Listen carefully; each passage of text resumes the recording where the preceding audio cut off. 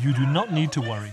This is only a drill for the safety of the Olympic Games to be held in less than four months in Rio de Janeiro. Na verdade, são técnicas utilizadas para resgate de reféns. Essa técnica de entrada tática é utilizada assim numa situação específica que pode acontecer e que acontece no Rio de Janeiro. Labrador and Malinois dog breeds were selected to work with Brazilian armed forces for the simulated bomb detection exercise held on April 12th.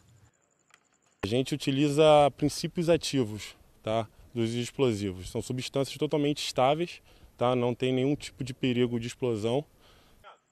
The sniffer dogs used to work for the military police six hours a day and retire after eight years in service. However, due to the momentous task awaiting them during the Olympics, they may face a different regime now.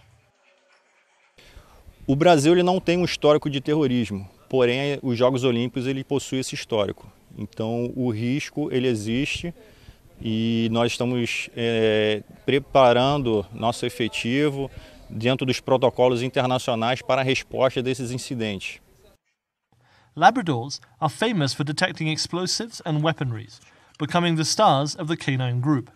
However, Labradors can also be rebellious and work better when partnered with their Malinois companions.